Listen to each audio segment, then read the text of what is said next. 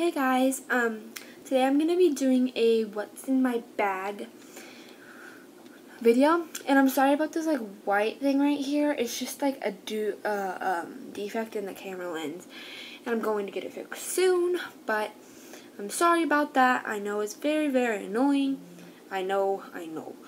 So, let's go ahead and get started with the video. So, this is my bag, it is just a little pouch thing, and it has like a don't know what to call it, a strap. And It is very long, so you wear it like across, I forgot what it's called. I'm sorry I'm not in the frame, but, um, anyways, I just got this at Ross for 10 bucks. It's really cute. It just has, um, little studs right here, and like a little latch thingy. And it's white.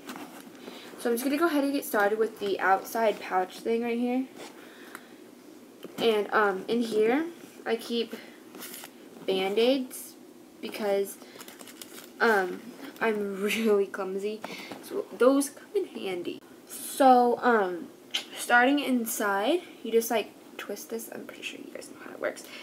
If I can even twist it, because I am so dumb sometimes. Okay, there we go. And it just opens, and quick overview, that's what you see. So the first thing that I usually have in here is my wallet, and it is very big, but it also does fit in this little purse thing. It just says keep calm, keep calm and dream on, and I really like this. I got this at Hot Topic for about like seven, eight bucks, and inside is just my school ID, which I don't really want to show, and I absolutely have no money right now, because I just got my, um, hang on, my stuff painted and stuff, and then I spent it all on food. Fat. So the next thing in here, I'm telling you, I don't have a lot. Next thing in here is my little hand sanitizer. It's this Paris Amour one. And it's like one of those from Bath and Body Works, 175. And I love this smell. Like, it's my all-time favorite. Oh, sorry I keep for the faces, you know? My all-time favorite scent from Bath and Body Works. I have the hand sanitizer, I have the lotion, I have body wash, I have spray. I just love this scent so much. You don't even know, guys. And then, ew, the next thing in my thingy is my Burt's Bees chapstick. It's a pomegranate one. I've had this for a long time. And I love how it just moisturizes your lips.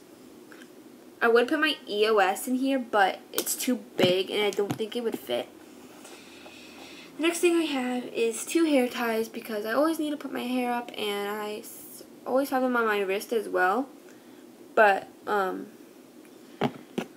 some friends take those and stuff. The next thing I have in here, usually I took it out or I put it back in here for this thing is my phone. And as you can see, as I told you before, it is very cracked right there, all down the screen. I need to get a case, but I'm going to get this fixed um, as soon as possible to do a video on it. And then in this little zip, zip pouch right here. I don't think I have anything in there, but. Oh, I do have something. I have my Tattooed by Inky um, perfume sample thing. Not sample, but like a carry around thing. And I just literally smack this on. I'm good to go. Good smells and stuff. And that is literally all I have in here.